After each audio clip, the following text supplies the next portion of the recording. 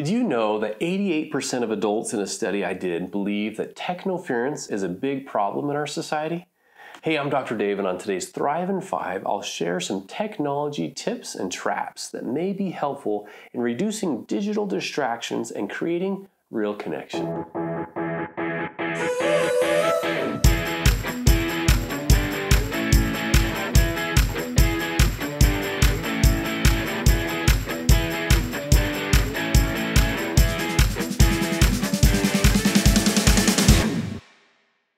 Now, there's all kinds of opinions about technology and the role it's playing in people's lives and their relationships. There's even a new term for this called technoference, which refers to technology interfering with people's face to face interactions and relationships.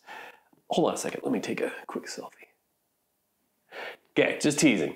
Now, you may remember from other videos that we're all born with three fundamental human needs safety, satisfaction, and connection.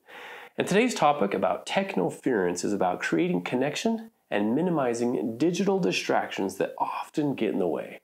I conducted a study on this topic with 632 parents across the United States about how they feel about technology. So here's some of what I found. About 70% feel like technology interrupts family time at least occasionally, and 60% are concerned about the influence technology has on their relationships with their children. And one out of four parents wish they had more information about technology and parenting, but don't know where to turn.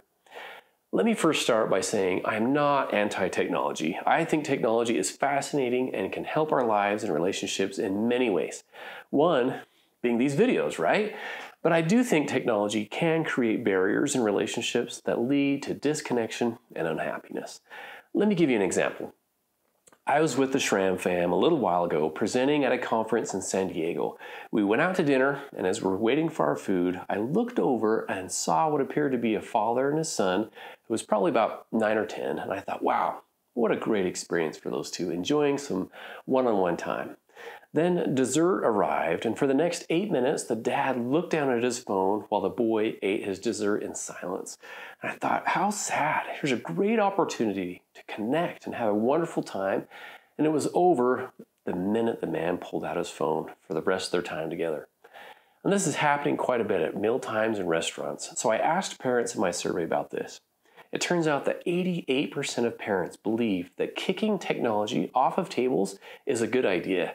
And about 40% of parents admitted to using technology at least occasionally while eating at home with family members. So here's the principle meal times are for togetherness and strengthening connection. I highly recommend turning off the TV and staying off the phones during all meal times. Keep the table phone free. Another place I encourage parents to stay phone free is in children's bedrooms and during bedtime routines. Let's say you're laying next to your five year old daughter in their bed, reading a book, and you hear or feel your phone go off.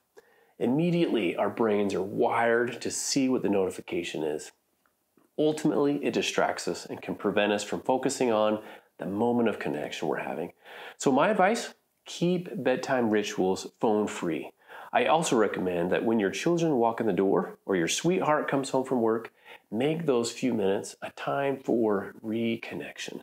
Even make an effort to get off the phone if you can, letting whoever it is know that your child or partner walked in the door and you want to talk with them. It shows your children or spouse that they are a priority. Research has also shown that children and teens can get distracted easily by their devices while they're doing homework.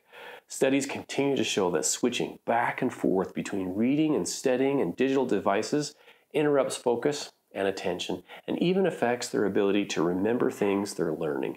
So, my advice is no technology during homework. Here's some more tips right from the American Academy of Pediatrics. First, they recommend no screen time for children younger than 18 months, with the exception of Zoom or FaceTime to interact with others. They also say that between 18 to 24 months, parents can begin to introduce high quality programs and watch them together. From ages 2 to 5, they suggest limiting screen time to one hour per day high quality programs, games, or apps, but still being with your child when it's happening. From 5 to 18 years of age, they recommend setting consistent limits and encourage healthy habits like physical activity and 8 to 12 hours of sleep per night. They also discourage using media while also doing other things such as eating, homework, or interacting with others. So there you have some tips and traps of digital devices. For more information, you can find a Technoference Tips PDF I created at the link below. I want to learn. Show me the way.